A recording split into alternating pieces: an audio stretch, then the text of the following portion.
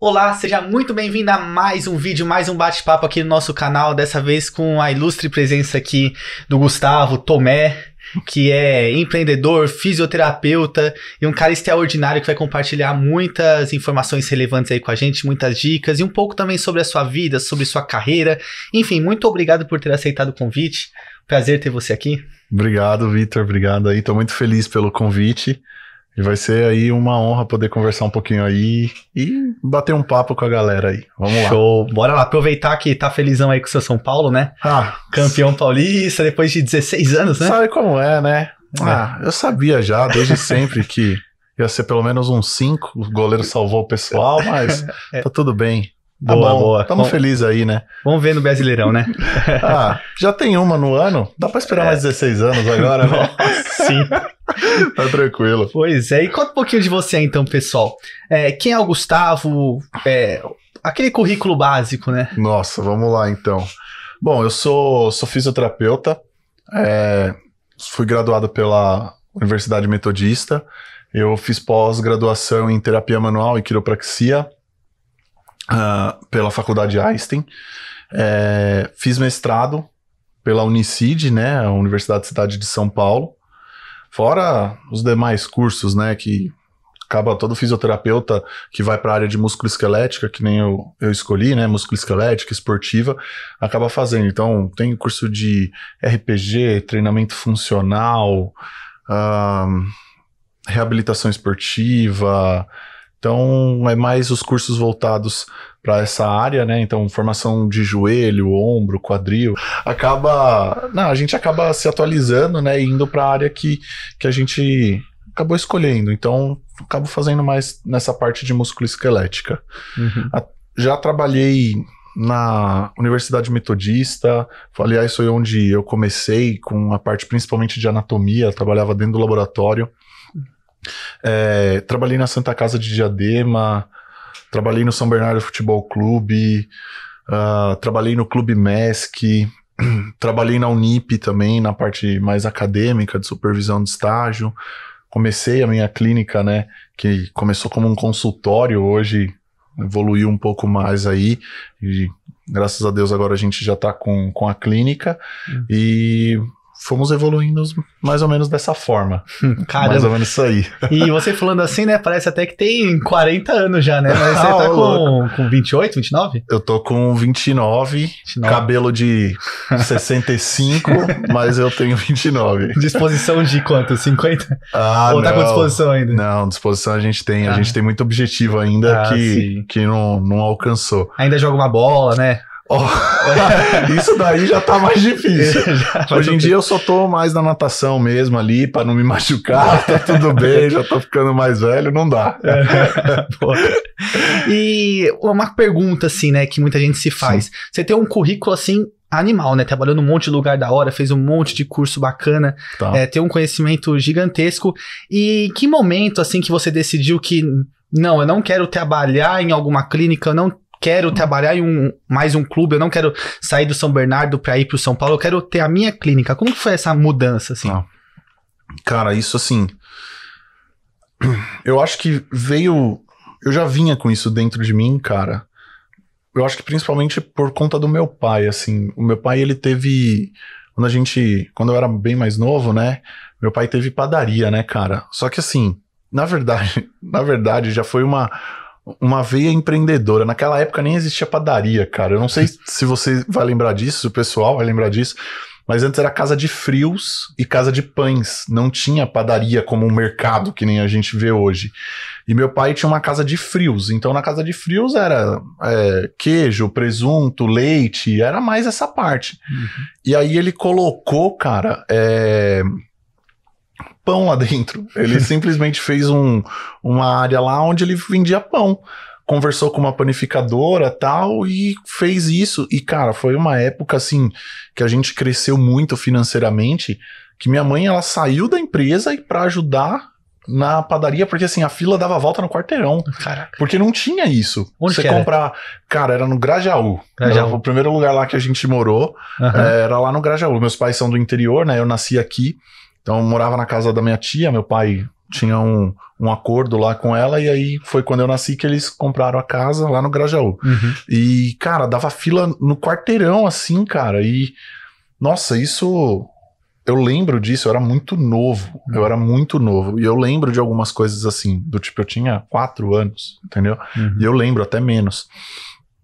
E, e aí, assim, desde que eu tava na faculdade, que eu, assim, eu- tinha uma ideia de esporte. Eu queria sempre esporte, sempre joguei, sempre, putz, joguei basquete, natação, tinha bolsa nos lugares, e assim ia. Uhum. E, cara, eu sempre tinha que eu queria alguma coisa de esporte, de ortopedia, mas quando quando eu comecei a entender o que era fisioterapia, comecei a procurar, falei, cara, eu acho que a saída é ou ter um consultório ou ter uma clínica.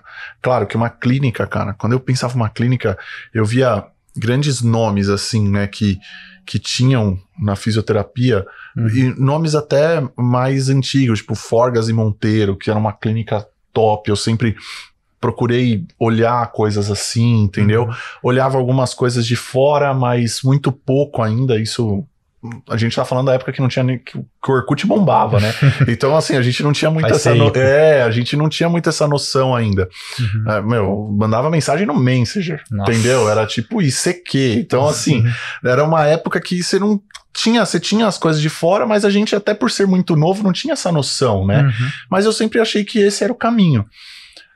Aí eu lembro uma vez, num- numa aula de empreendedorismo, inclusive na faculdade, que o professor pediu pro pessoal imaginar quanto queria, é, quanto se via ganhando dali cinco anos, dali 10 anos.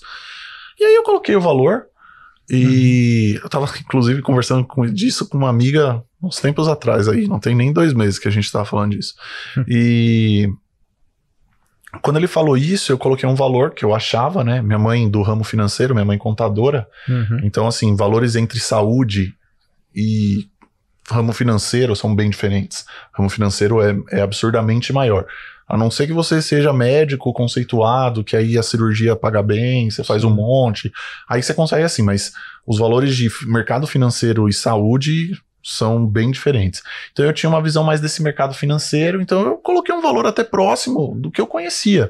Sim. Então, cara, eu coloquei. Putz, eu- na época eu tinha colocado 10 mil reais, acho que pra ganhar em 5 anos ou 10 anos, eu não lembro mesmo, Uhum. na, é, na época. E eu lembro que eu coloquei o maior valor que, que- da sala, né? E aí, na época foi conversa lá na sala, tudo, né? Aquela zoeira sempre. E aí o professor, quando acabou, o professor virou pra mim e falou, conversando assim, virou e falou, ele era muito amigo, ele virou e falou assim, cara, você sabe que esse valor que você falou dá pra ganhar, né? Mas você vai ter que ter seu negócio. Não Uhum. queira ganhar esse valor trabalhando pros outros. Uhum. Então, assim, acho que isso, tipo, foi. Eu já tinha esse negócio em mim de ver meu pai, Sim. entendeu? Aí meu pai saiu da padaria foi fazer outra coisa. Hoje ele é condutor escolar, então também é um negócio próprio, entendeu? E aí eu tenho minha mãe contadora, isso me, me- sempre me deu muita segurança de falar, ah, beleza. Ela não vai deixar dar merda. Se ela não vai deixar dar merda, vamos, vamos com calma, não vai deixar dar um passo maior que a perna. E aí eu foi assim, então sempre eu acho que quando eu me formei, eu já, a gente já tinha isso. Na faculdade eu conheci no, no, meu- no meu último ano tinha tinha quatro homens na sala, cinco homens na sala, e aí no último ano entrou mais um. E, e dois eram bem amigos. E esse um que entrou, ele também ficou muito amigo da gente. Hum. E aí a gente juntou dinheiro e no último ano a gente decidiu é, fazer isso, entendeu? No último ano a gente falou, ó, vamos juntar dinheiro, quando se formar a gente abre um, um lugar. Uhum. E, e foi daí que a gente começou a ter. Então, Você chegou a abrir um lugar com essa galera? cheguei a abrir um lugar com essa galera. Nossa! A gente, a primeira clínica foi, foi assim, clínica, primeiro consultório, cara. Sim. é, Eram quatro sócios. eram quatro sócios. Caraca. Muita gente, né? E não façam certo? isso. Não façam isso. Isso não façam perguntar. isso. É muita gente. Sim. É muita gente. E quanto tempo durou essa. Quando a gente começou lá, eram quatro sócios. E, e aí, assim, a gente era muito novo. Três eram muito novos. Então a gente saiu da faculdade com 22 anos. Ele tinha 30 e poucos já. Então ele já tinha uma experiência, trabalhava na Mercedes, era mais maduro. Então, assim, eu escuto ele muito até hoje. do- é, do- da sociedade saíram dois e ficaram dois. Então ficou eu e esse sócio que, que eu tenho até hoje, Uhum. e os outros dois saíram. Mas assim, não foi briga, não foi nada. O que, que acontece? Eu e esse sócio que continua até hoje, a gente foi para a área de músculo esquelético. Ele fez pós-graduação comigo, entendeu? Uhum. Eu, quando fui fazer mestrado, eu fui para a área de músculo esquelético, eu fiz com estimulação elétrica neuromuscular o meu mestrado, é para ganho de força, com reabilitação. E os outros dois, cara, foram pro, pro HC fazer UTI. Uhum. Então, assim, meu, a gente atendia ortopedia. E eles eram de UTI. Então chegou um momento que não, não deu muito isso, entendeu? Sim. E foi numa época, cara, que era assim, era uma correria, velho. Eu fazia pós, tinha clínica e trabalhava na metodista. Nossa. Na metodista, velho, eu, eu entrava às duas horas da tarde e saía às onze e meia da noite. E aí tinha hora que, assim, pô, às vezes ajudava a corrigir prova, é, ficava até mais tarde para ajudar a fazer alguma coisa. Como eu tinha. Eu mexia nas peças, né? Então eu montava as aulas. Eu montava fisicamente as aulas, né? Então é, o aluno tinha que estudar um coração. Eu ia lá, Uhum. pegava o coração, colocava lá no, no lugar, às vezes alfinetava, a gente tinha um roteiro de estudo, a gente tinha a bancada certa. E às vezes eu montava a aula do outro dia, porque eu só ia chegar à tarde, ia ter uma aula de manhã e não tinha outro, outro técnico. Então, assim, Uhum. eu entrava às vezes duas e meia. Na verdade, às vezes eu entrava até antes. Às vezes eu entrava uma, meio-dia. E, cara, saía onze e meia, meia-noite, uma hora, entendeu? Caraca. E aí, assim, fazia pós. Graças a Deus que a pós era de final de semana, então dava. Mas, assim, era todo final de semana, sábado e domingo, era pesado, era puxado. Uhum. É, e trabalhava na clínica, entendeu? E assim, cara, era começo. Sempre assim, começo. Eu ganhava o suficiente pra pagar as contas Hum. e pôr a gasolina no carro. Entendeu? Foi uma época que, pô, eu fui assim, eu tinha o meu salário lá da, da metodista, que também não era absurdo, mas me ajudava em muito.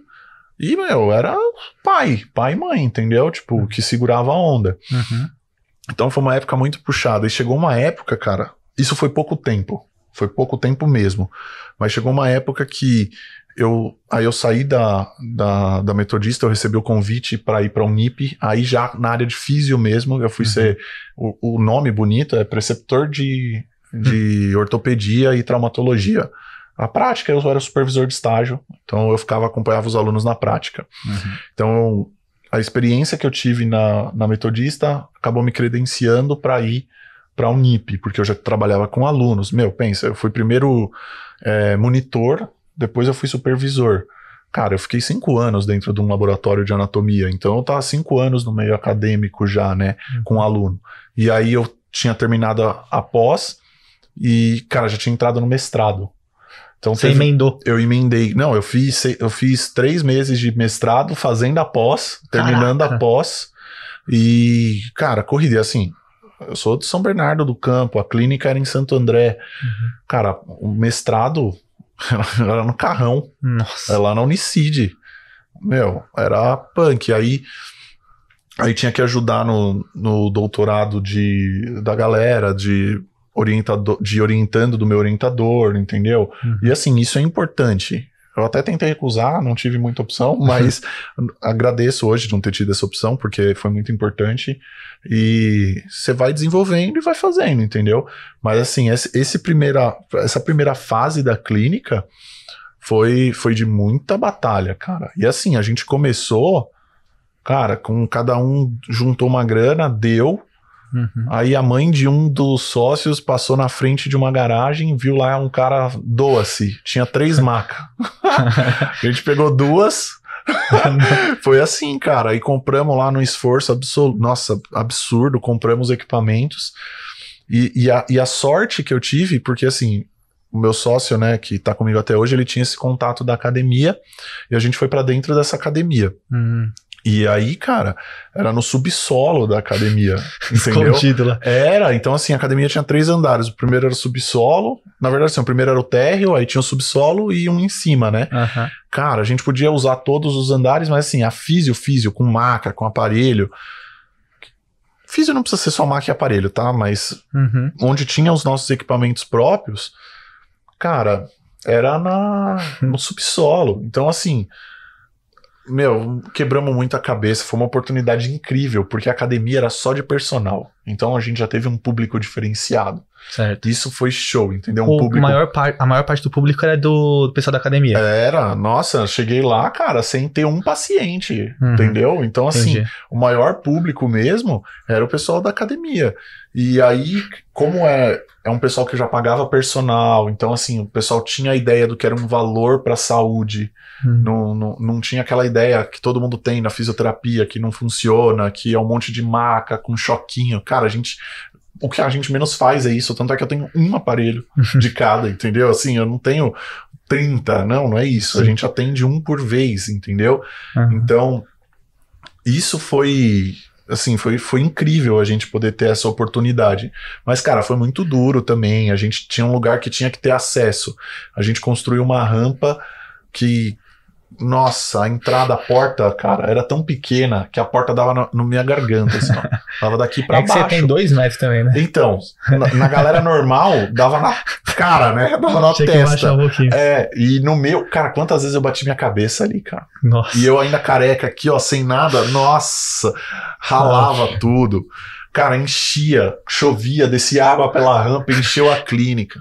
Cara, eu perdi oito livros, eu devo ter perdido mais de dois contos em livro, Mano. porque, tipo, encheu a clínica. e aí eu chegava, eu tinha paciente assim, eu tinha que acordar cedo, eu- meu primeiro paciente era às sete horas da manhã, né? Aham. Até hoje eu faço isso, mas tudo bem. Meu paciente era às 7 horas da manhã.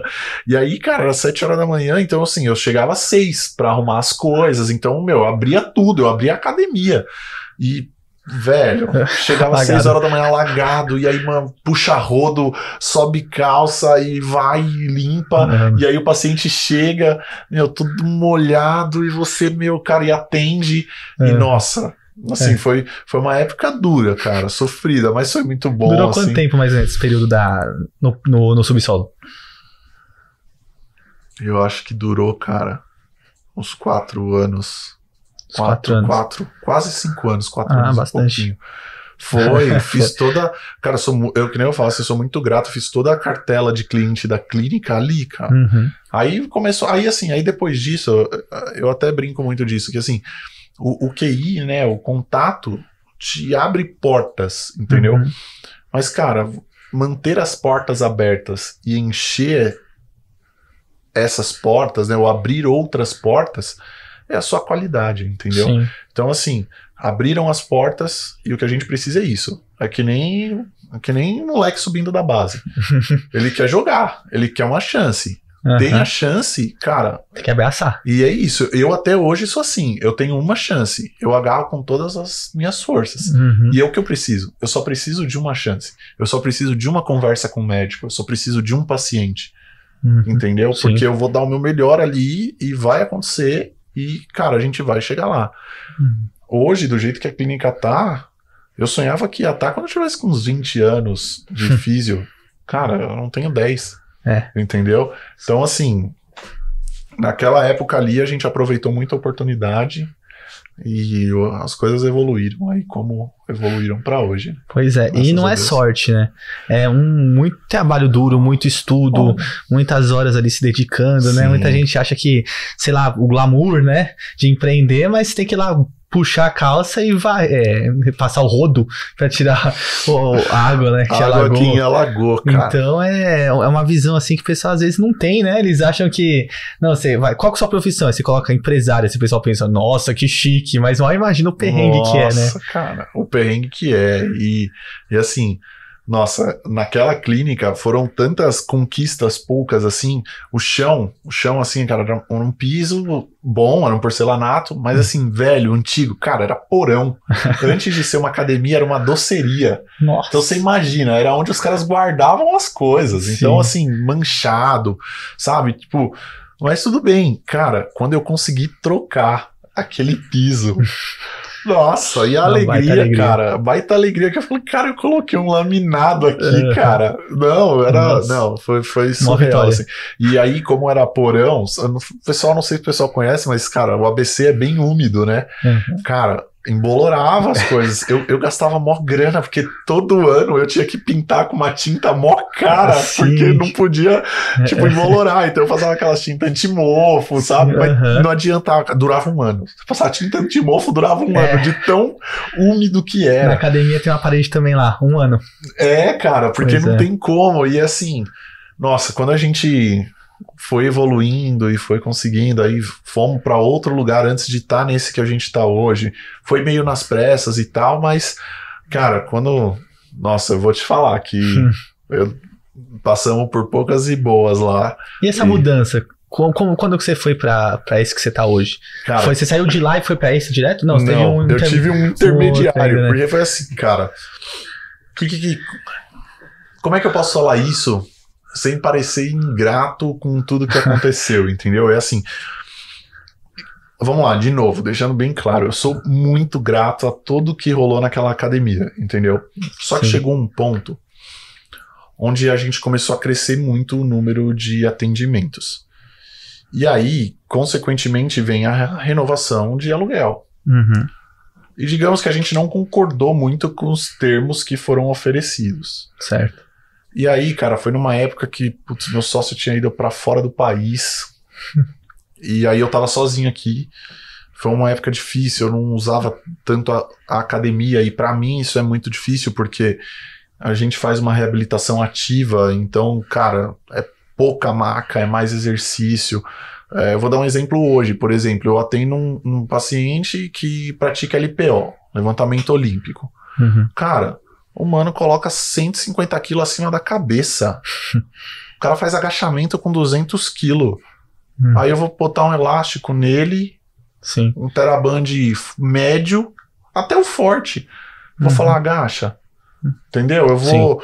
O, o cara agacha com 200 quilos. Eu vou botar uma tornozeleira de 3 quilos e falar pra ele esticar o joelho. Entendeu? É, o Fazer nível de extensão. exigência é diferente, né? Entendeu? O nível de exi- de exigência é diferente. Então, assim, eu precisava muito disso, entendeu? E, e na época eu novo também, porque a gente tá falando de tudo isso, eu tava com o quê? Eu saí da faculdade com 22, eu tava com uns 26, 25, 26, Uhum. entendeu? Então, assim, mesma coisa, entendeu? O nível de, de imaturidade da minha, daquela época era muito grande, entendeu? Uhum. E eu meio desesperado, aí conversei com, com, com a contadora, com a contabilidade, vulgo minha mãe, que é a contadora. Ela, a gente tentando achar um jeito, achar um jeito. Comecei a ver equipamentos para ver se eu conseguia colocar equipamentos na parte de baixo, para só usar a parte de baixo, só usar o porão, tá? Uhum. Parte de baixo, vulgo porão. É, não tava dando certo, meu sócio na Austrália, ele tava meio férias, meio trabalhando, eu não queria, tipo, preocupar ele. Fui tentando resolver, e aí, cara, aí assim, achei um lugar que tinha todos os equipamentos que eu queria, os equipamentos das marcas que eu queria, porque se eu atendo um público A, vou colocar assim, eu não vou colocar equipamentos nível D, C, entendeu? Eu preciso Sim. ter equipamentos nível A. Isso é caro, custa dinheiro. E a gente não tinha tanto. Até ali a gente tava engatinhando, sobrevivendo, tava bem, mas não tava esbanjando. Sim. E esses equipamentos são muito caros. Eu vou dar um exemplo para vocês. Um- uma esteira nova, que nem a que eu tenho hoje na minha clínica, custa 30 mil reais, entendeu? Então, assim, é- não é um negócio tranquilo. Sim. E, cara, eu tentando achar, tentando achar, achei um lugar que tinha todos os equipamentos que eu queria dentro de um preço razoável. Uhum. Mesmo assim, esse preço era, não Altíssimo. era pouco, é 60 mil reais. Uhum. Aí, cara, aí foi, aí foi, hein, cara. Aí assim, minha avó, cara, ela faleceu nesse meio período. E eu sempre tive um bom relacionamento com a minha avó, cara. E, e aí, assim, ela já tinha me deixado dinheiro. O único neto que ela deixou alguma coisa ali e tal. Uhum. A gente fez um bem bolado e eu tinha colocado esse dinheiro na empresa tal. E aí minha avó tinha uma casa e venderam a casa da minha avó e a parte veio pra, pra minha mãe, né? Cara, era o valor certinho dos equipamentos. Eram Caramba. 60 mil reais o valor que veio. Uhum. Minha mãe pegou e falou: Ó, compra o que precisar. Beleza, compramos. Liguei pro meu sócio da Austrália, meu sócio. assim, ó, acho que você vai querer me matar. Eu falei, por quê? A gente vai sair da onde a gente tá e eu comprei 60 mil reais em equipamento. Aí ele virou e falou, cara, mas tudo bem, eu, eu achei que ele ia me xingar tal. Sabe o que ele falou, cara? O quê? Ele virou e falou assim: eu transfiro agora, porque eu não sei se minha gerente tá disponível. Aí eu falei, não, não, não, não. quando você voltar a gente resolve, mas só pra te falar, tá bom.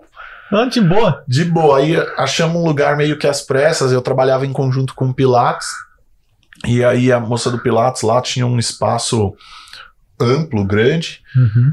e tinha um lado que ela não usava. Ela usava pouco, ela alugava para umas aulas de yoga, umas aulas de, acho que ginástica, uma coisa assim.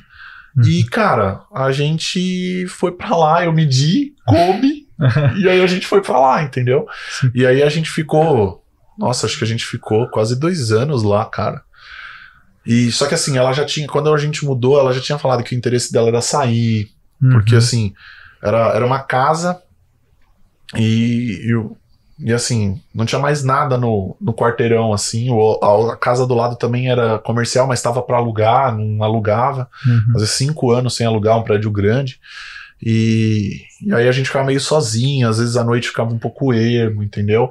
O aluguel também não era dos mais baratos, que era um bairro bom em Santo André. Certo. Aí veio a pandemia. Pra acabar com tudo, né? Que a gente falou assim, cara. Ferrou. E aí, essa pessoa do Pilates tinha, tem alguns problemas de saúde, e aí, cara, ela se afastou totalmente. E a gente continuou. Mas assim, eu não parei um dia na pandemia, mas, cara, com medo, com, Uhum. com tudo que quem está trabalhando com saúde num momento desse pode ter, né? Sim. E aí a gente tava lá, trabalhando tudo, e aí começamos a ver outros lugares. E aí, de novo, é, eu, cara, a gente trabalha muito. Tanto é que a gente marcou de fazer essa, é, esse bate-papo, essa entrevista hoje. Uhum. Agora é 10 horas da noite. Sim. Porque a gente atendeu. Eu comecei hoje o primeiro atendimento foi às 7 horas da manhã. O É. nosso último atendimento foi às das oi- 7 às 8 O pra conseguir chegar aqui. Isso que eu parei às 8 porque eu ia vir pra cá, porque se deixasse era pra ser até às 9, 10 talvez, Uhum. entendeu? Então assim, a gente sempre trabalhou muito, então eu sempre contei com amigo, com meus pais, principalmente com meus pais, cara. E meus pais estavam ajudando, procurando lugar, e, um- e eles acharam um lugar. Nossa, que doido, cara. Acharam um lugar, e aí só tinha uma sala, uma sala não cabia, Uhum. Aí o cara virou e falou: Ah, eu tenho aqui a sala do lado, é do meu amigo. Peraí que eu vou ligar pra ele. E aí, cara, foi, foi, foi. Conseguimos um espaço, Duas salas. duas salas, num prédio comercial, com uma vista top. Você conhece É, lá, você uma já vista foi. bem legal. Uma vista top. E é terceiro andar, só que o outro lado é baixo. Então, cara, ficou. Nossa, uma vista incrível, É. uma harmonia muito boa. É legal, né? Às vezes você olha pra um lado, você vê o céu todo preto, né? Você olha pro pro outro, outro. o céu o, limpo. o céu limpo, é assim mesmo. E aí, cara, foi isso que, assim, um prédio super legal, com anfiteatro, como eu tenho toda essa parte acadêmica que eu gosto, do curso, então a gente consegue Uhum. usar. Então, cara, isso foi, foi bem legal, assim, a- foi um negócio, assim, a nossa evolução. E aí, por incrível que pareça, isso aconteceu com a maioria. Eu achei que isso estava acontecendo comigo, aí fui começar a conversar com os outros é, donos de, de clínica que eu tenho, Uhum. e eles acabaram até falando isso, né? Que realmente melhorou com a pandemia. A gente cresceu na pandemia. Eu cresci muito na pandemia. A gente tem os controles, né, de atendimentos. Uhum. Então, cara, a gente saiu. Um primeiro momento na pandemia foi difícil. Sim. Um primeiro momento na pandemia, assim, a gente fazia em torno de 40 atendimentos por semana. Cara, a gente fez 50 atendimentos em três meses. Nossa. Entendeu? Então, assim, foi tipo. Uma boa queda. Foi um- uma pancada. A gente estava sobrevivendo. Reduzir salário da, de, putz, de outro físio. É, só que assim, também só agradecer, porque o outro físio foi compreensível, Uhum. entendeu o momento que a gente estava passando. Deixei outro físio em casa, acho que foi quase 15 dias que eu deixei em casa. Tava trabalhando online, tava, mas o Uhum. fluxo de atendimento era baixo, entendeu? Sim. E eu indo, eu tava eu me expondo, Isso foi lá no comecinho mesmo, lá comecinho lá pra pra março. Uhum. Lá pra março. Cara, não sei como até agora eu não peguei. Fui vacinado e tudo. Assim, peguei. Não tive sintoma, né? É. Então não precisei fazer teste nem nada. Mas assim, também ninguém que tava no meu convívio também teve Uhum. isso. É, então, assim, foi bem difícil esse momento. Pensei em fechar. Uhum. Pensei, pensei que ia dar ruim. Pensei que ia fechar. Mas, do nada, um paciente, pô, cara, tô com dor nas costas, tô parado nessa Sentado pandemia. Abriu agora um pouco, como que tá os seus atendimentos? Como a gente sempre fez um atendimento individualizado, essa parte não mudou nada pra gente. Desde que eu comecei a clínica, era um paciente por horário. Uhum. A gente não atende mais do que isso. É um paciente e um fisioterapeuta. E a clínica, a gente atende no máximo dois, estourando três pacientes. Então, dentro da clínica, no máximo, eles têm seis pessoas. Três pacientes e três físios, para 70 metros quadrados, que é o tamanho da clínica. Uhum. Entendeu? Então, já foi algo 70, é quase 80 metros quadrados. Então, assim, já, já é algo que não fugia do nosso. Então, todo mundo já tinha essa segurança. Uhum. Aí o prédio tomando todos os cuidados, a gente tomando todos os cuidados. É, N95, entendeu? Então, o pessoal tem que fazer físio de máscara. Pô, é chato, é chato, mas tem que fazer de máscara. Uhum. Pô, mas e esporte de alta intensidade? Na hora que tinha que dar um tiro numa esteira, alguma coisa, ia ficava isolado, abria as janelas, tirava, respirava perto da janela, voltava, entendeu? Então, Uhum. a gente tentando tomar todos os cuidados, o pessoal começou a se sentir seguro e começou a ter dor. Você tem academia, você Uhum. sabe, a galera parou de treinar. Sim. A galera parou de treinar, parou de se cuidar, e aí ansiedade, comida. Cara, o que a gente atendeu de pessoas com dor nas costas por conta disso e de outros motivos, a gente sabe que dor nas costas não é só mecânico, existem vários fatores. Você não necessariamente precisa ter uma lesão para ter dor.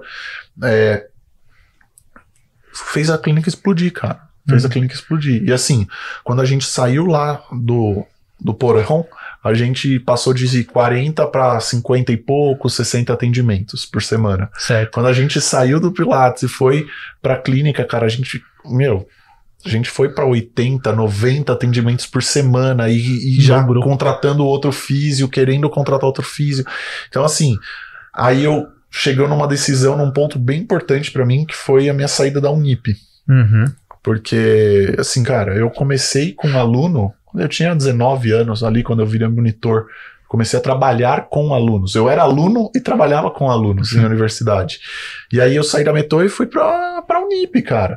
Então, assim, eu fiquei aí nessa brincadeira os quatro anos de formado, não, os três anos de formado, mas oito anos de formado, mais os três anos de graduação. Hum. Cara, tô mais de 10 anos nessa área. Então, pra eu virar e falar, ó, eu vou sair e vou me dedicar pra clínica, É. cara, eu, eu precisei aí de uns bons seis meses pra tomar coragem Sim. e falar, ó, pessoal, tô indo embora, tem outros projetos e tal. E é um negócio que, que, que na época, assim, até, pô, você fica assim, você sai com um dever de que, pô, eu dei o meu melhor, né, com a sensação, né, de que eu dei o meu melhor, Uhum. mas você fica com aquele negócio de, puta, cara, Sim. queria continuar aqui, entendeu? Aham. Mas Não dá, faz né? Parte e, e precisava crescer, que nem isso que você falou assim. Ah, e objetivos, né? No começo você até me perguntou de objetivos. Cara, a- até a, a Sabrina, que trabalha comigo, ela fica louca comigo. Porque eu viro pra ela e falo assim: não foi bom essa semana. Como não foi bom? Como não foi bom, cara? A gente fez tantos atendimentos, não foi bom.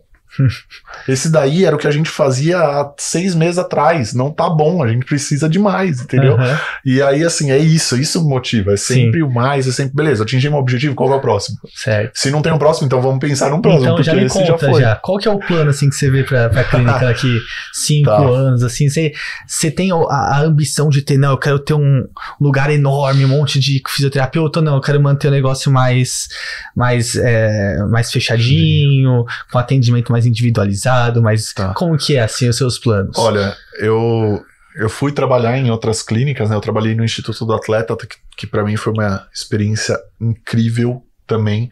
E ali eu aprendi muito, e lá era uma baita clínica com 30 e poucos médicos, com 12, acho, 9, 12 fisioterapeutas.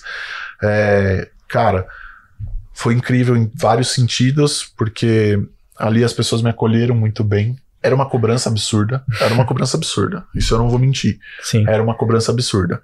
É, o seu paciente é o seu paciente e, cara, você vai cuidar dele estando aqui na clínica ou estando fora da clínica. Então você vai dar seu telefone para ele, você vai ligar para ele perguntando se tá bem, você vai ver como é que as coisas funcionam. Se ele não estiver evoluindo, a culpa é sua. Se ele não estiver fazendo as coisas fora dali para evoluir, a culpa é sua. Se- é- é- Era uma cobrança absurda, mas foi um crescimento absurdo. E lá eu aprendi muita coisa. Muita coisa. E eu queria, e eu realmente pensava em ter um um negócio que nem aquele, assim, ó, gigante. Assim, cara, quero ter ali, vou ter. E aí depois eles abriram, o pessoal da Físio saiu e abriu uma outra clínica maior ainda. E eu falei, gente, eu Uhum. quero um negócio desse. Eu até brincava, falava assim, não, eu vou ter a clínica tal do ABC, entendeu? Uhum. Eu falava assim, porque eu queria ter gigante. Hoje eu já não sei se é muito isso que eu quero. Eu, eu penso em outras unidades, mas no mesmo formato. Entendi. Entendeu? Então, não sei, porque assim, eu acho que eu gosto dessa ideia da exclusividade, entendeu? Uhum. De, de você, assim, do físio conversar direto com o, o paciente, do paciente ter, marcar e agendar com o físio, Entendi. de ó, não consigo agora, dá pra gente fazer isso, o físio fazer sua agenda. Eu gosto dessa autonomia do físio. E mantém a fidelidade também, né? Sim, sim, eu, eu sempre pensei muito nisso, assim, eu sempre pensei, toda vez que eu vi uma academia, eu falava assim, meu, o pessoal pensa pra caramba em quem tá entrando, mas e o cara que tá lá dentro? É, reter, né? Tem desconto pro cara que tá entrando, mas o cara que tá lá há dois anos paga uma mensalidade absurda, tipo, Uhum. então assim, eu sempre me preocupei com isso, e aí na minha cabeça, eu sempre falei assim, cara, isso acontece porque é muita gente, Hum. o cara esquece, o cara tem que se preocupar com as pessoas que estão entrando e esquece das que estão lá. Então eu não quero perder isso. Então eu tenho na minha cabeça, na minha cabeça e no papel, né? Eu tenho isso certinho qual é o limite que a clínica tem, Uhum. entendeu? Então assim, clínica não vai, eu vou dar um exemplo aqui, tá? Mas esse número não. Mas tipo, clínica não pode passar de 250 atendimentos por semana, Isso é um teto, não tem como, né? entendeu? Não vai passar disso. Se Só se trabalhar vai 24 perder. horas por dia. E vai perder o que a gente quer. Eu não quero colocar lá no espaço de 80 metros quadrados cinco fisioterapeutas e cinco pacientes. Certo. Cara, eu tenho uma maca. Uhum. Eu tenho uma maca na minha clínica. Porque a- o nosso atendimento é outra pegada. Entendeu? A gente faz uma reabilitação literalmente ativa. Uhum. Então, isso, esse conceito, não precisa de muito. Um espaço decente a gente consegue fazer. Uhum. Entendeu? Então, outras unidades eu vejo. E, cara, eu achava que isso tava longe, mas eu não sei não. É, quem sabe no É, futuro tipo- próximo. É, então, cara, eu acho que isso não tá muito longe. Tive umas conversas aí com uns amigos que estão com os projetos e talvez a gente acaba aí já tendo uma segunda unidade, mas Caramba, já tem. Já sabe mais ou menos o lugar já? Já sei mais ou menos o lugar. É no É. ABC também. No ABC. É no ABC também, mas não é em Santo André. Aham, Não é em Santo André. certo. E é isso, cara. Então a gente sempre tem aí o próximo passo. Uhum. Isso, é, isso é fundamental. A hora que eu acho que a hora que não tiver isso, aí tem que fechar as portas e Sim. acabou. Agora eu vou vale fazer uma pergunta um pouco. É, um pouco polêmica, assim. Hoje você se vê mais. Você. É, vamos, vamos mudar a pergunta assim. Você preferiria abrir mão hoje em dia do lado empresário e continuar sendo físio? Ou você é, seria mais fácil abrir mão do lado físio e ser mais empresário? Eu vou te responder com o que eu tô tentando fazer. Tá. Eu tô tentando abrir mão do lado físio Aham, e ficando mais do lado empresário. certo. Difícil. Provavelmente eu vou atender pro resto da minha vida. Enquanto eu estiver andando, eu vou atender. Certo. Mas eu tô tentando diminuir. Entendi. Eu tô tentando diminuir. Porque, cara, a demanda é muito grande. Sim. É o que eu falei, eu atendo na clínica das 7 horas da manhã até as 8 horas da noite. Uhum. Todo dia. Sábado e domingo. Sábado eu atendo das 7 a 1.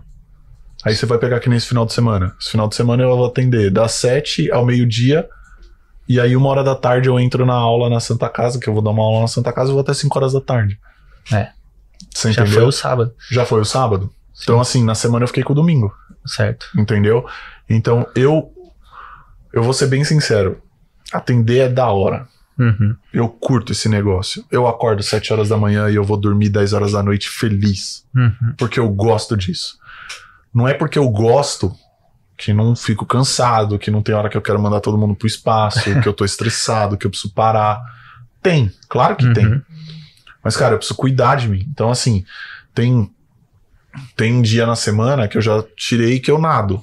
Certo. Tem outro dia na semana que eu, pelo menos na academia. E eu tento no final de semana fazer alguma coisa. Uhum. Então eu tento manter a minha saúde física e mental pelo menos três vezes na semana, Sim. que é o mínimo. Se entendeu? não, né?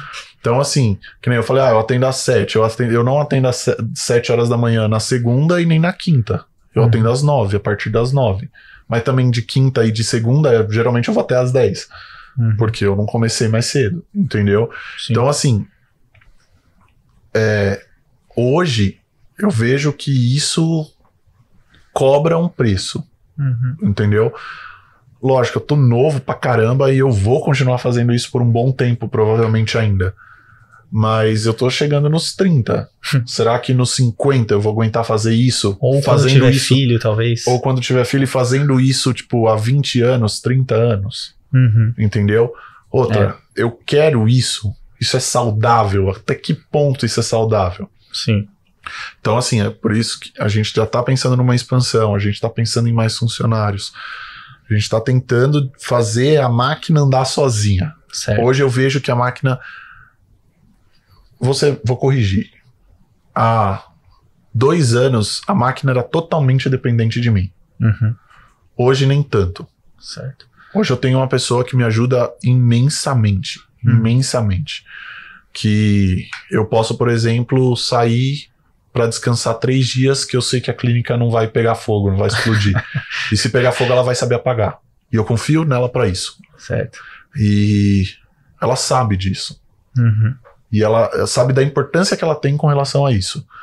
E, cara, eu preciso de outras pessoas assim. No nível que ela tá, no nível que ela tem de, de importância hoje, eu acho difícil. Mas Próximo. próximo, Uhum. entendeu? Para que quando eu sair, ou se eu precisar sair, ou se eu precisar diminuir, se eu precisar pensar no negócio, mais tempo para pensar no negócio, se a gente quer ter uma segunda unidade, cara, não tem como eu ter dar 12 horas por dia nas duas unidades. Uhum. Entendeu? Não dá. Não, Não dá. não tem como eu fazer isso. Então eu tenho que entender que eu preciso de pessoas assim, que essas pessoas precisam estar comigo. E eu tenho um pouco de dificuldade com isso. Eu sempre fui muito centralizador, eu sou até hoje, mas eu tenho que entender que isso é o caminho. E por isso eu entendo que eu tenho que ser menos fisioterapeuta. Porque quando você é fisioterapeuta, é a sua decisão. Uhum. Lógico, junto com o paciente. Junto respaldado com ciência, com estudo, com pesquisa. Mas é a sua decisão. E numa empresa, se você quer que ela expanda, nem sempre será a sua decisão. Será o seu norte. Uhum. Mas você tem que entender que a decisão vai ser do seu funcionário e que você tem que confiar que a decisão dele foi a melhor para aquele momento. Então, eu penso que se eu quero expandir, se eu quero continuar, eu tenho que ser menos físio e mais é, empresário. Uhum. Então, acho que eu vejo eu sendo mais assim no futuro. Sim. Mas hoje, até hoje, eu fui totalmente mais físio do que empresário. Sim. Aliás, se não fosse a contabilidade, Aham. não tinha saído nada do que tem hoje. Pois é, e até você comentou, né, que a, a clínica ela cresceu muito mais rápido do que você imaginava, né? Você pensou Sim. que demoraria muitos e muitos anos e já chegou num patamar que você ficou até Sim. surpreso, né? Sim. E o que você coloca essa. ah, o que você fez ou o que você faz que ocasiona essa, essa aceleração? Você acha que é mais o seu lado empresário ou você acha que é o seu toque fisioterapeuta ou é os processos? Sabe o que eu acredito, técnica? cara? Então, sabe o que eu acredito? Isso de. Processo é uma, uma, uma coisa legal, Uhum. tá? Eu acho que isso tem um diferente mesmo. Mas técnica, cara, não tem segredo. Eu, eu até brinco, eu falo assim: ah, qual que é o seu diferencial? Se eu perguntar isso para os meus pacientes que deram certo, lógico, porque os que não deram, ninguém dá certo em tudo, você não, não Sim. resolve todos os problemas. Mas a maioria desses pacientes vão falar: não, é, é a técnica, é o jeito, eles são muito bons e tal. Mas, cara, isso vai ter em qualquer clínica. Hum. Entendeu? Isso vai ter em qualquer clínica. É, não importa o quão bom você é. Primeiro, sempre vai ter alguém melhor que você e sempre vai ter alguém pior que você. Então você tá num processo. É só isso. Então, assim, isso não é o diferencial. Tipo, eu nunca falei isso assim. Ah, qual que, por, por que, que sua clínica vai pra frente? Ah, porque eu sou foda. Esquece. não é isso. Porque tem um monte de cara muito mais foda que eu. E tem um, um monte de cara muito mais foda que eu que é muito melhor que eu e tem muito mais sucesso, digamos assim, que eu, e tem muito cara mais foda que eu que não tem esse sucesso. Uhum. Entendeu? É, eu acho que é um conjunto de coisas. Eu sempre procurei na clínica deixar um ambiente agradável. Isso eu acho fundamental. Cara, você precisou já de fisioterapia, você sabe como funciona. Cara, desculpe, eu sou fisioterapeuta. Mas você vai numa fisioterapia, vou chamar de convencional, se é que isso é um termo que existe, é chato pra caramba. Sei lá, você, pô, você tem 30 anos, 40 anos, você joga bola, você é ativo, aí você tem uma lesão, você para, olha do lado, tem a dona Maria de 75 com o mesmo peso que você, velho. Fazendo o mesmo exercício. Não que a dona Maria, cara, não possa fazer o mesmo exercício que você, Sim. mas isso é desestimulante. E aí você olha pra dona Maria, e aí, dona Maria, tudo bem? Tudo, quanto tempo você tá aqui? Ah, fiz 15 anos. Que? É tipo assim, entendeu? Você fala, Sim. meu, o que que tá acontecendo aqui? Entendeu? Então, assim, esse processo, esse, esse processo não pode ser assim, entendeu? Então eu procuro trazer um ambiente agradável. Uhum. Então, assim, a pessoa não pode sair da clínica pior do que ela chegou. Sim. Na clínica tem que rolar música. Por isso que a clínica você entra lá e fala assim, parece uma academia, é, parece uma academia, porque você, Uhum. você tá se reabilitando. Você não tá morto. Entendeu? Sim. É tipo isso. É, tem lugar que parece que, que você é inválido, né? É, entendeu? Não, Sim. o cara tem que sentir bem, a gente fala alto, a gente dá risada, a gente conta piada, a gente brinca. Tem que ter um clima bom, velho. Tem que ter um clima bom. Uhum. É, isso pra mim é fundamental e eu acho que isso é diferente. Isso é uma parte que é diferente, entendeu? Certo. Agora, se você for falar assim, qual que é o. Mas você falou assim, pô, o que que é, né? Você tem Uhum. um truque. Cara, eu não digo um truque porque eu acho que é um conjunto de coisas. Mas tem um- duas coisas que eu acho que são fundamentais. E isso eu, eu posso falar, meu, com a cara limpa, de peito aberto. Trabalho. Uhum. Trabalho. Essa frase é clichêzona, Muricy. mas, cara, não é. Tipo Muricy, que é trabalho, meu filho. Porque assim, cara, não, não tem como, que nem é frase batida, mas só no dicionário que o sucesso veio antes que eu trabalho. Só. Não tenha medo de trabalhar. Ah, mas cara, eu trabalho muito. Porra, sério? Sério? Hum. Já que eu trabalho menos, eu trabalho 12. É. Ah, eu dou plantão de 12 todo dia. Eu também. Sim, Entendeu? Sim. É tipo isso, é 12 horas. E assim, E é trabalho ativo mesmo, que às vezes a galera tá 12 horas lá sentado no escritório e tá duas horas vendo YouTube, três horas tomando cafezinho e falando de futebol. é um paciente É. atrás do outro. Eu tenho duas horas de almoço. É isso que a gente. Isso quando tem duas horas. Porque tem dia agora que eu tô, tô uns encaixes aí, eu tô colocando meia hora, atendo um e como outra meia hora. Eu tô parcelando meu almoço. Entendeu? Então, assim, cara, trabalho. Trabalho, trabalho, trabalho, trabalho. Não tem como. Isso é fundamental. E se a gente for ver outro ponto que eu acho, cara, assim, é coragem, velho. Hum. Isso é fundamental. E quando eu falo coragem, mano, não é inconsequência. Não, não, é, não, não seja porra louca, não sai atirando pra todo lado. Não é tipo, ah, vou fazer, vou catar 50 mil da minha mãe, vou abrir o negócio aqui e vai dar certo. Uhum. Mano, não é isso. Não é isso. Coragem, velho, não significa não ter medo. Coragem é vencer o medo. Ou, pelo menos, encarar ele. É, conviver com ele ali. Entendeu? Saber isso. Então, assim, medo a gente tem toda hora. Mas mesmo com medo eu mudei de lugar. Uhum. Mesmo com medo eu comprei os negócios. Mesmo com medo eu falei vou continuar. Mesmo com medo eu saí da Metrô, eu saí da Unip. É, essas passagens nunca são fáceis. Então, assim, duas coisas que são fundamentais que eu acho que faz a clínica ser forte. E aí eu falo a clínica, não qualquer clínica, a minha clínica. Uhum. trabalho e medo. Não tenha medo. Ou seja, né, a coragem. Certo. Então, trabalho e coragem são fundamentais. Sim. É, eu, eu falo, não teria feito tudo que a gente fez se não tivesse a parte da contabilidade. Porque se eu preciso de um produto, eu chego na contabilidade e falo, e aí, dá? Ó, dá se fizer dessa forma, assim e assim. O que, que você quer fazer? Entendi. Entendeu? Só que assim, então eu nunca dei um passo maior que a perna. Hum. E isso é fundamental. Mas precisa dar o passo. Quantas vezes a contabilidade chegou e falou: Isso que você vai fazer pode dar certo, mas eu, como sendo sua mãe, ou eu sendo seu pai, ou eu sendo seu sócio, aconselho a não fazer por conta disso. E eu Uhum. falar: Não, vou fazer porque vai dar certo. E lá fiz e deu certo. E cara, as coisas continuam. Sim. Entendeu? É. Então isso é fundamental. Tem que ter coragem, não tem jeito. Sim. Sim. É, e um ponto também interessante em relação a- a- ao negócio de fisioterapia é que, assim, vocês têm que tratar a pessoa e a pessoa, sei lá, ela quebrou, lá, quebrou o joelho, lascou o joelho, lascou a articulação lá. Aí ela vai começar a fazer fisioterapia, vai passar uns três meses, vai estar bom do, do joelho, vai estar andando, vai estar de boa. Aí ela vai parar. Sim. E, e como que funciona então essa questão de, de jornada do cliente, de fluxo de cliente? Como que você lida com isso? Porque você tem que, basicamente, você tem que demitir seu cliente depois de um tempo pra você ter tido sucesso e ele ficar feliz, Isso. né? Só que aí você para de, de ter o dinheiro dele. Então como Sim. que, como que lida com isso? Cara, isso. é, isso, de verdade. Eu pensava muito nisso, ainda quando eu tava na graduação. Que eu falei, cara, e aí? Tem que ter. E tem muitas clínicas que tem um jeito pra segurar o cliente. Hum. Tá?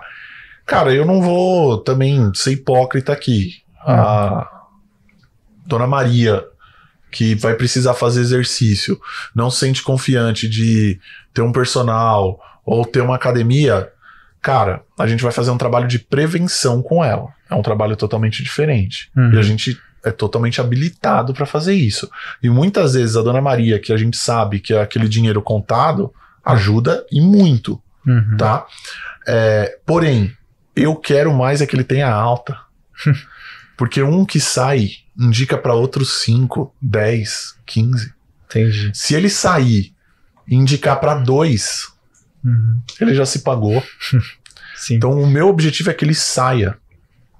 O problema é que às vezes as pessoas ficam um pouco ansiosas e querem sair antes do tempo. É, o pessoal vê muito é, esporte. E aí vira lá pro cara e fala, vê que o cara, pô, o cara teve um estiramento lá e voltou em oito semanas, seis semanas, mas, cara, ele fazia fisioterapia todo dia, duas, dois períodos. É. Fora o resto, fora que você sabe quanto ele tá fazendo de é, nutrição, então quanto ele tá se alimentando, o quanto de carbo que tá entrando, o quanto de gasto que eu posso fazer, o quanto que não. Uhum. Sei quanto que vai ser o treino dele, porque o preparador físico conversa com o físio, então sabe quando pode soltar. Então ele tá machucou o joelho, mas ele continua na academia no membro superior e tronco, mas joelho, ele tá na físio, então o cara não Uhum. parou. Então, assim, tem, tem vários fatores. E aí a galera tem a mesma lesão que o cara teve e quer voltar no mesmo tempo. Sim. E não é assim. Entendeu? E, e uma coisa é atleta, outra coisa é o cara que joga bola de final de semana. entendeu? Então tem um Sim. monte de coisa que a gente tem que tem que levar em conta com relação a isso. Mas na, na, na, assim, na lata, eu quero que meu paciente saia. Até porque se cada paciente que entrar eu ficar eternamente com ele, cara, eu não tenho mais horário. Porque não chega nenhum novo. Uhum. Entendeu? Entendi. Então, essa é a ideia. Depois que eu comecei a ter isso na minha cabeça, que cada paciente que eu melhoro, dou alta, ele vai embora, ele me traz mais dois, três. Uhum. Cara, hoje, eu não vou falar de parcerias, tá? Eu vou falar assim: tem médicos, poucos, que me indicam pacientes. Quando eu falo poucos, é bem esporádico. Então, assim, você pegar no ano, eu tive, sei lá, sete, seis, seis, sete estourando Bem indicações médicas. Sim. O resto, paciente que indicou, Indicando. que foi dali, que foi dali. Então, meu negócio se construiu no boca a boca. Certo. Eu não tive ali um médico municiando o paciente, Uhum. entendeu? Sim. Então, é, é mais lento, mas é mais sólido. Hum. Entendeu? Então, porque cada um que chega na minha clínica, inclusive você, quando foi, Uhum. foi porque teve uma pessoa da sua confiança Que que indicou. indicou. É. Entendeu? Então, só de ter esse sistema, a pessoa chega com outro olhar. Ela já chega tentando ver o copo meio cheio, porque ali ele vê uma esperança de melhora. Uhum. Entendeu? Ele sabe que o cara que tá ali, ele, que a equipe que tá por trás dele já melhorou outras pessoas que ele confia. Sim, verdade. Entendeu?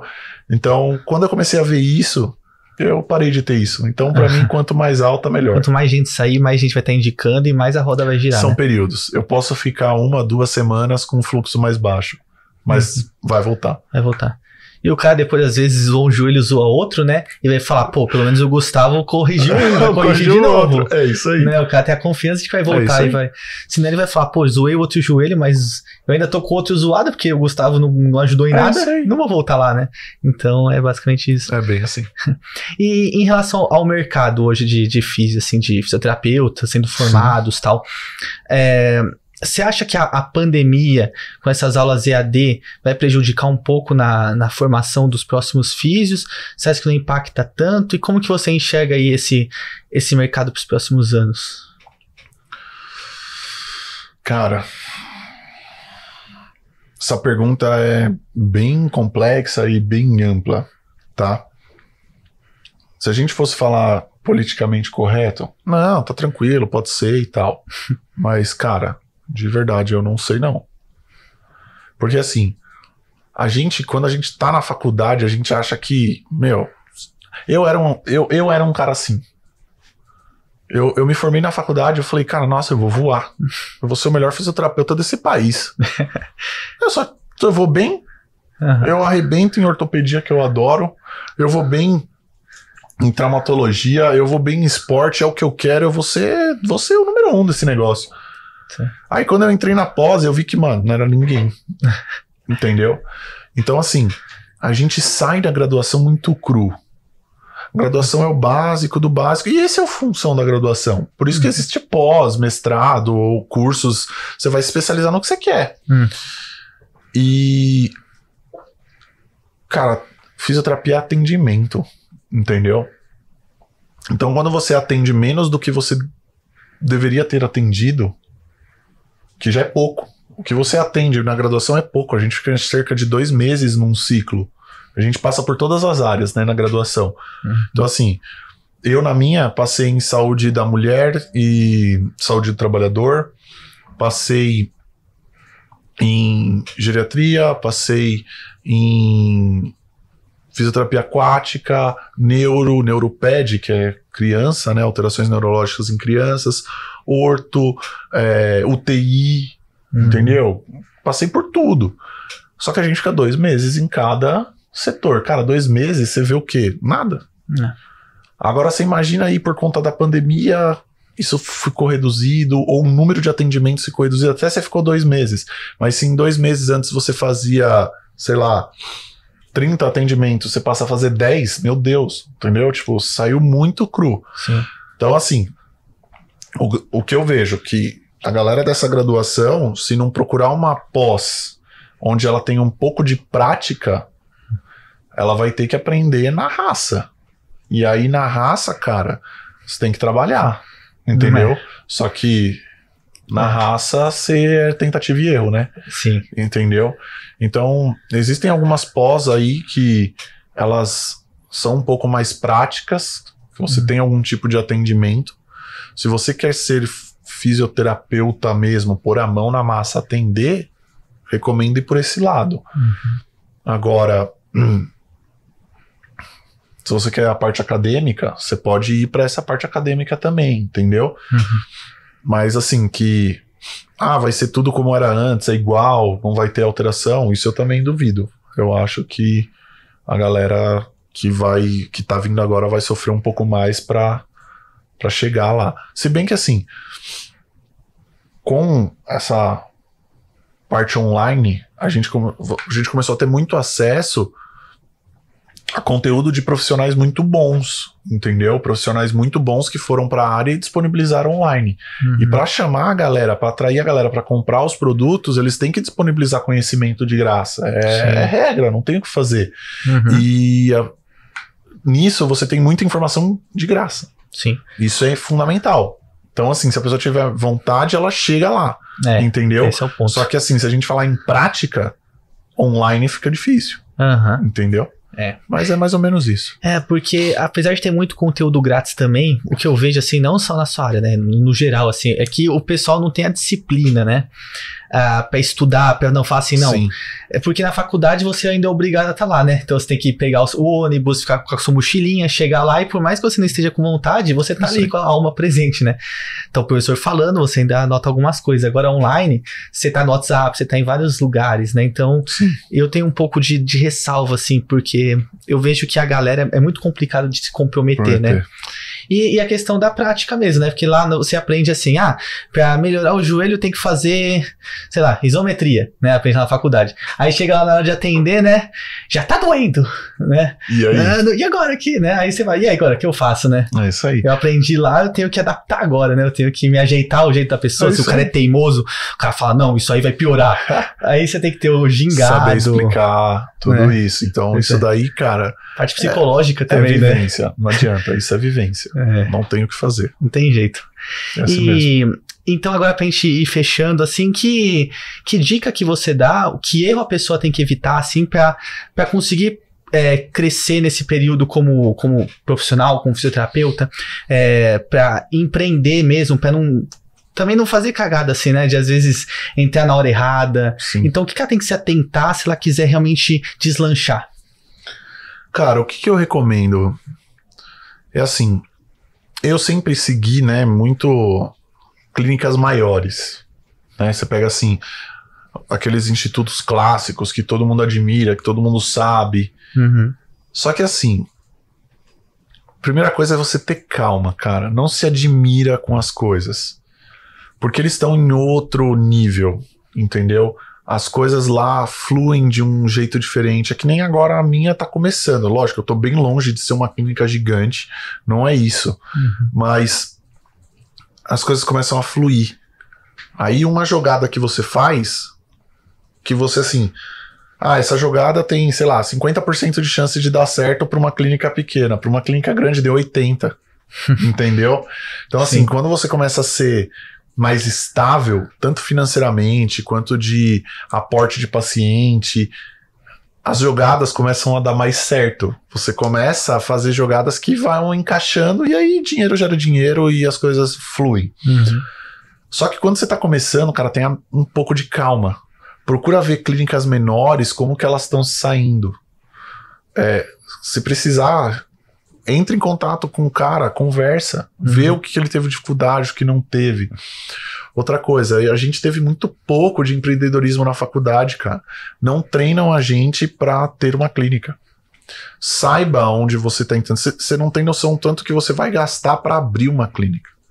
Se você fiz. E quando eu falo gastar para abrir, sabe o que quando eu, o- eu falei isso agora o fisioterapeuta tá pensando? Hum. Eu tenho que ter um TENS, eu tenho que ter um Teraband, eu tenho que ter uma maca, eu tenho. Não, eu não tô falando disso. Hum. Tô falando de documentação que você nem sabe que existe. É. Você vai abrir uma clínica, você vai gastar 3, 5 pau em documentação. E É. aí você contou todo o seu dinheirinho lá e falou: eu tenho 10 e dá pra comprar isso e vai dar. Aí já não é 10, velho, são 15. Você tá falando de 50% a mais do que você tinha. Você fala, meu Deus! Entendeu? Então, assim. Procura entender como funciona uma empresa. Procura entender o que é uma empresa. Uhum. Tá? O, o que é uma empresa limitada, o que é um MEI. A gente nem pode ser MEI, mas, tipo, procura entender, entendeu? Uhum. É, é- é tipo isso. Você sabia que a gente não pode ser MEI, entendeu? É, paga menos imposto, mas a gente não pode, entendeu? Então, tem essas. Cada. Tem, tem, tem sua. É, oh, sua peculiaridade, eu vou falar assim, sua Certo. particularidade. certo. Então, tenha calma. Só tenha calma e. Não coloque os pés pelas mãos. Analise o que você vai fazer. Estude. Uhum. Faça curso nem que for do Sebrae. Porque não são ruins. Tá? São cursos bons Nossa. e gratuitos. Uhum. Entendeu? Então, assim, antes de você virar e falar, vou abrir um consultório, vou abrir uma clínica, procure entender o que é um consultório, o que é uma clínica. Sim. Procure entender que você não vai ser somente o fisioterapeuta, você vai ser o dono da clínica. Se você é bom em fisioterapia, não necessariamente você é bom empresário, tá? Calma, isso é uma diferença. Eu falo bastante isso, Isso. pessoal. Entendeu? É. Então, então, assim, tem que tomar um pouquinho de cuidado com isso. Sim. Você pode ser bom atendendo, mas talvez não seja bom gerindo. Talvez não gerir não seja para você. Talvez você tenha que ter uma pessoa que vá gerir o negócio, entendeu? Sim. Então você vai precisar entender isso. Então Hum. procure entender um pouco mais sobre é, o ramo que você quer, o que é uma clínica e como funciona, para depois ver se isso é possível, é viável. E a gente pensando no, no que a gente está hoje, eu expandi a clínica, eu cresci a clínica numa pandemia que eu não recomendo ninguém abrir nada. Entendeu? Então, assim, é, é um pouco complicado isso, mas é, se tem uma dica aí que a gente pode dar, é isso, cara. Primeiro, antes de fazer qualquer coisa, procure entender o que é essa coisa, Uhum. Pra depois você conseguir seguir com isso. Sim, é, o que você falou assim, eu falo muito isso de, às vezes a pessoa ela fala, não, porque eu, eu sou bom nisso, então agora eu vou abrir um negócio disso, mas quando você abre um negócio disso, você não faz mais só a, Só sua, né, o seu dom ali. É isso. Você aí. tem que depois fazer papelada, balancete, aí você tem que ficar, se, ficar com dor de cabeça porque a droga do ar-condicionado não tá funcionando, né? Você tem que fazer manutenção, não sei o quê. isso que eu tenho a contabilidade. É, que eu falei pra ainda. é. Isso que eu nem faço essa parte financeira, entendeu? Exato. Então, assim, por isso que eu tô falando. E você a- tem aí, às vezes, isso. assim, se a sua paixão é atender, o melhor é você trabalhar numa clínica que tem toda a dor que de te cabeça, valorize. que te valorize e que você só atenda. Só tem. Só faça o que você gosta. É isso. É. Ou ficar nos é, home care, entendeu? Atender Sim. um ali, um home care ali, ter um fixo numa clínica e ir para um home care, Uhum. atender um ou outro, entendeu? Mas você vai ter dor de cabeça. Saiba que uma. Cara, ó, eu não fiz a papelada. Quem fez a- essa parte papelada foi a, a. Que eu falei, né? Foi a parte da minha mãe, porque ela entende disso. Ela é contadora, mas trabalhou em várias empresas, então ela sabe é, fazer muita coisa e também conhece muita gente. Mas, cara, só, um, por exemplo, uma assinatura de advogado para você conseguir fazer as coisas é em média mil reais. Entendeu? Uma assinatura de advogado. A advogada era amiga dela, me cobrou 100 reais, entendeu? Então, assim, nessas coisas que você vai tendo a facilidade, porque tem pessoas que conhecem. Agora, se você vai começar do zero, não tem ninguém que te ajude, entenda que terão isso Uhum. entendeu? É, terão essas coisas. Então, tem que tomar muito cuidado com isso. Você, ao abrir o seu negócio, é literalmente isso. Você não é só fisioterapeuta. Uhum. Você passa a ser empreendedor, dono do negócio. Use o nome que você quiser. Chefe, se você quiser ser chamado, não tem problema. Só que, cara, não é mais só atendimento. Tem Uhum. muita coisa envolvida. Pois Isso é. Fato. É, então é isso. Foi um bate-papo muito rico, gostei muito. Legal. Obrigado pelo seu tempo, obrigado pela sua disposição aí de compartilhar com a gente esse conhecimento todo. E também agradecer quem está nos assistindo até aqui. Muito obrigado também pela confiança, por nos acompanhar. E qualquer dúvida, qualquer coisa, só deixar nos comentários, só mandar uma mensagem. Se você estiver ouvindo no seu, no seu podcast aí, ah, você também pode acessar a gente pelas redes. Inclusive, deixa aí um pouco do, do seu jabá aí. Como Ah, que as pessoas te justo. encontram? Onde fica a sua clínica? Se a pessoa torcer o pé, se a pessoa quebrar o punho, Olha. onde ela vai? Legal, a clínica ela fica em Santo André, cara, ela fica ali na Vila Bastos. É, a gente tá no Instagram e no Facebook mais forte, né? O Instagram acaba sendo até um pouquinho mais forte que o Facebook, mas no do- nos dois você acha a gente. É arroba IRM underline fisioterapia. Então segue a gente lá, pode mandar mensagem, qualquer dúvida pode falar com a gente, que, que a gente vai estar lá para poder ajudar vocês. E eu gostaria de agradecer também muito o convite. É, muito legal, muito prazeroso estar aqui. Aham. E foi uma conversa bem legal. É isso aí. É, Muito e o pessoal, assim, às vezes acompanha meu Instagram, né? Aí vê lá, eu corria, né? Eu corria pra caralho, eu morria. Aí eu lá, nossa senhora, tá correndo 5km em 17, 18 minutos, tava voando. Aí eu chegava todo quebrado, né? Pro Gustavo, pra Sabrina lá, tô morrendo de dor, não consigo dobrar o Não joelho. consigo dobrar o joelho. Aí eles iam lá e me consertavam. Aí no dia seguinte chegava quebrado de novo, né? Era assim mesmo. Aí depois acabei saindo da corrida e entrei na musculação mais pesado também. Aí é dor no ombro. aí é dor em todo lugar. Eu sou todo quebrado. Então eles que estão sempre me, me deixando pronto para treinar mais pesado aí. Então valeu também. Obrigado pela paciência. ah, que isso, legal. Sempre chegando com algum problema diferente. Essa é a ideia. O, o Vitor, ele faz a gente estudar bastante, digamos assim. sempre quebrado. Boa. Valeu, pessoal. Obrigado, Obrigado gente. Valeu, tchau. viu?